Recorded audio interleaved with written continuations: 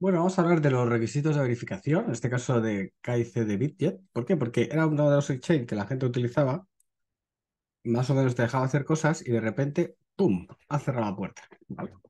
Estos son una serie de correos que llegaron en agosto y bueno, pues ya estamos en ese periodo intermedio donde tienes un mes para hacer las cosas y si no estás, si no, básicamente no puedes usar la cuenta. Dice, para proteger mejor los derechos y los intereses de los usuarios, yo siempre he pensado que proteger los derechos de la gente no tiene que ver nada con la regulación. Que si tú sabes lo que tienes que hacer. Otra cosa es que no lo hagas. Entonces, claro, si dices, no, me limita a cumplir la regulación, entonces no estás, simplemente lo que estás haciendo es seguir unas normas. Si la regulación te permitiera no hacer nada, pues no harías nada. ¿Vale? Cumplir con los requisitos regulatorios del sector, esto sí. Crear un entorno de trading seguro, esto no. El entorno de trading no tiene nada que ver con, con quién está detrás haciendo trading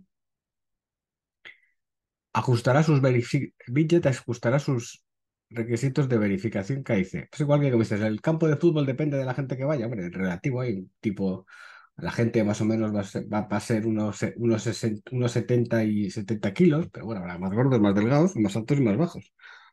Pero básicamente es la idea. Entrará al vigor el 1 de septiembre. Los nuevos que se registren tienen que completar el KIC para acceder a los servicios incluyendo, pero no limitado, al depósito y el trading de activos digitales. O sea, que tú quieres hacer aquí algo, tienes que hacer el KIC para depositar o hacer trading. Fijaos que en muchos sitios, para hacer trading con activos digitales, no hacía falta verificación. Y es que es una cosa que no entendemos. O sea, yo tengo, yo necesito verificarme para cambiar Bitcoin por Ethereum. Por, dólares lo, puedo entender, por euros lo puedo entender, pero Bitcoin por Ethereum no lo entiendo. Los usuarios anteriores, ¿vale?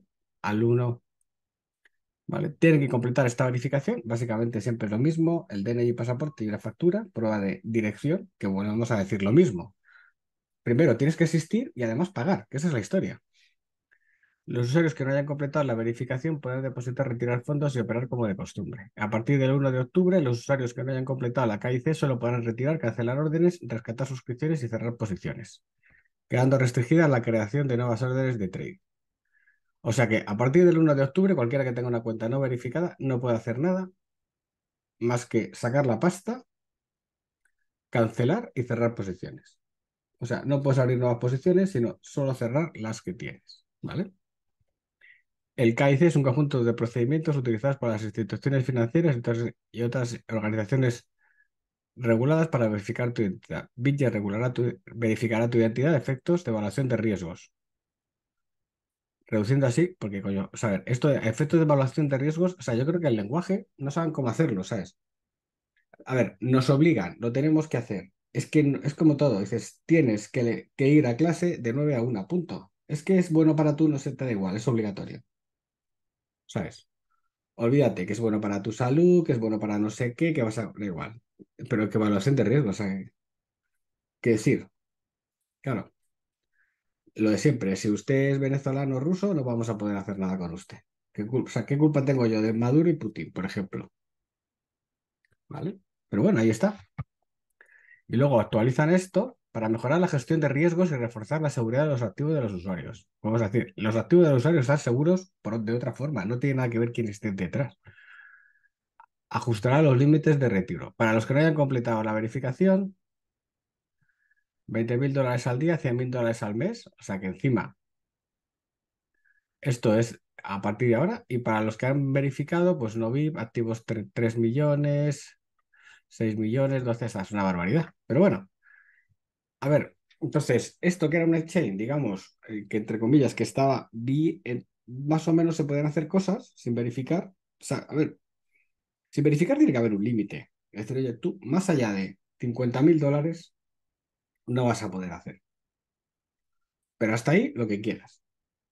Y lógicamente sin verificar no puedes enviar a una cuenta corriente, porque al final... Pero hasta ahí lo que quieras. pues no está mal, quiere decir. Imaginaos que, que cualquier sitio que entres te tienes que verificar. Vas al corte inglés, te tienes que verificar. Vas a no sé qué, te tienes que verificar. Vas a tal, te tienes que verificar. Que estoy dando una vuelta, que simplemente quiero mirar.